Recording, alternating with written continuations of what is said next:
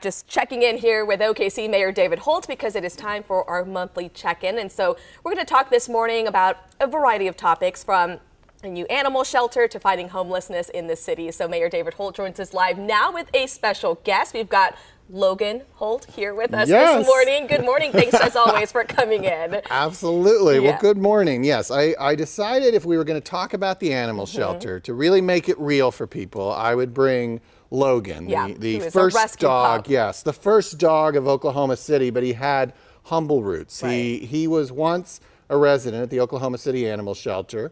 Um, they thought he had parvo, and so Bella Foundation came in and rescued him before he was euthanized. As it turned out, he didn't have parvo, Mm-hmm. Yeah. but um, we ended up adopting him at a Bella Foundation event. Um, and he's just a great example. I mean, obviously, in the near term, we always encourage people to, to go down to our existing Oklahoma City Animal Shelter and adopt because there is a Logan in your future. And he brings happiness into our lives every single day, uh, and that opportunity awaits you.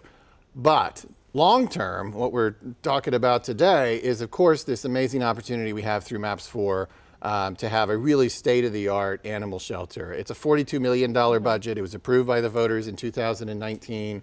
Um, and it's going to be an environment that's better for the animals. Uh, it's going to have all the bells and whistles, but uh, it's also going to be maybe just as importantly, if not more importantly, a better environment for the adopting families. Uh, it'll be very welcoming. Uh, it'll be very, you know, uplifting. And uh, we want people obviously to feel welcome at our animal shelter and for it to be a good experience from beginning to end so that they will take more Logans home. Right, and we know that oftentimes the animal shelter is at capacity, and so this new one is going to be so much bigger. Mm-hmm. Yes. Mm-hmm. We just saw some renderings, state of the art, $42 million budget, right? And expected to open here in a couple of years. Yes. right? So what happened recently, uh, the most recent development just in the last few weeks was the approval of the uh, plans for it, and that's what the renderings reflect. And uh, yeah, so we're getting we're getting down the road with it, and we're really excited. And yes, as you said, in addition to a better environment, it's also a lot bigger, and that'll Yeah. be great. We've had some real challenges with.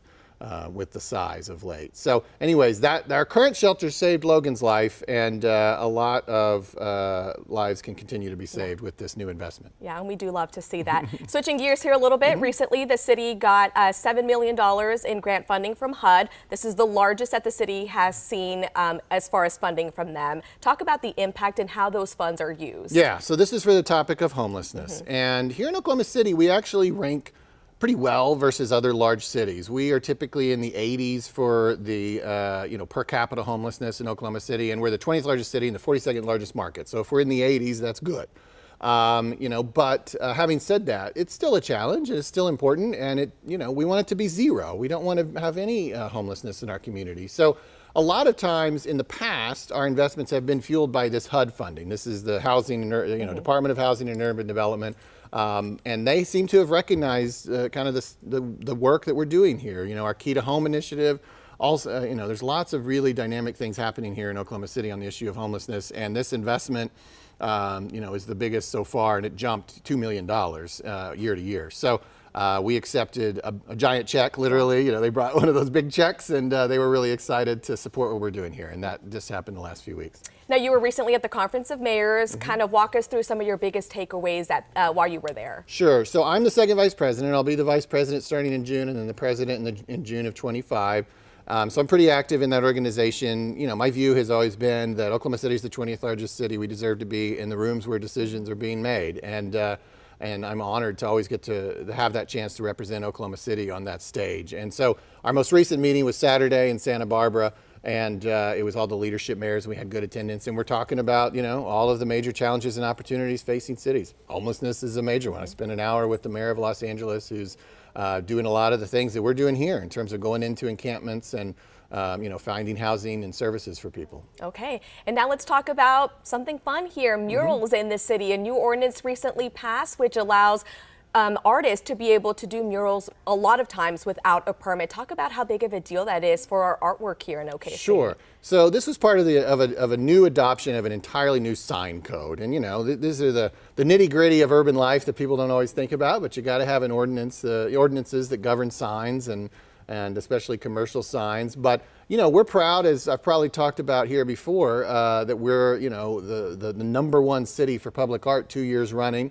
Uh, we want to continue to have more murals in this city, and we also have to respect this is a free country. I mean, people own property, they got a big wall, like they have every right to, to decorate it artistically as they wish. And so, generally, after the adoption of this sign code, um, you know, it's kind of a it's kind of a free for all in terms of artistic expression, unless you're in maybe certain design districts. And obviously, if you're a property owner and you're considering a mural, you might call the city and make sure what the parameters are. But most buildings in Oklahoma City are essentially at this point, after the adoption of the sign code, free to paint murals, and we encourage them to do so. Yeah, we know OKC known as some of the best street art in the country, so we love to see that. And then finally, before we go, uh, Read Across OKCPS is coming up. I know you'll be participating in that. You already do a lot of that anyway. Yes. Um, but talk about how important programs like this are and for people to be involved in them. Yes. So OKCPS has got Read Across OKC on March 8th.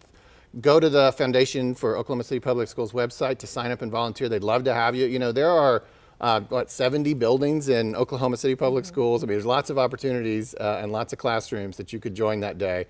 As you said, I read every single Friday morning uh, during the school year to uh, a different kindergarten class in our city. And there's over 100 elementary schools across all of the school districts in Oklahoma City. So it's an endeavor that uh, will end up taking me probably eight years to get to them all. Um, but I love the opportunity. It gets me around the city. I read uh, Goodnight OKC, which is the book by the Junior League about our city.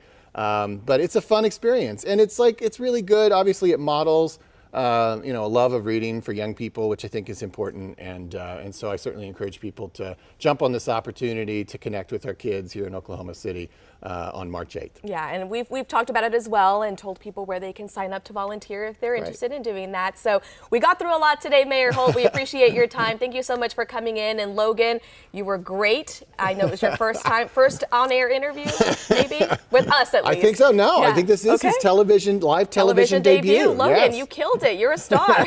Mayor Holt and Logan, thank you so much for coming in. As always, we appreciate your time. Thank you. Okay. Have a great day.